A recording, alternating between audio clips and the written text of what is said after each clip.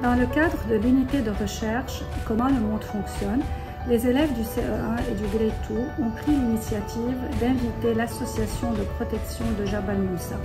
Les membres de cette association ont sensibilisé les apprenants aux dangers qui menacent cette réserve naturelle et par la suite, les élèves ont pris meilleure connaissance du diamant des rochers, cet animal en danger en voie d'extinction connu aussi sous le nom de tabsoun.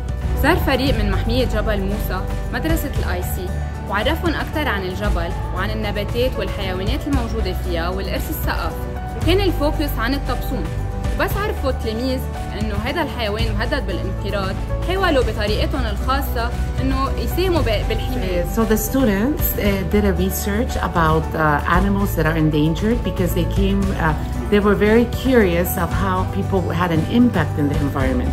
So they did a research and they found out many of them that, about the tapsum, the rock hyrax, which lives in Lebanon and it's in the in the in the mountains. And they found out that it's an endangered species that is ready to become extinct. So they started asking questions and we found out about Jabal Musa that is a reserve that is really trying to help not only the rock hyrax but other animals in order to help uh, you know the endangered species. So they came up with the idea of buying the books in order to help the reserve conserve the animals and the habitats.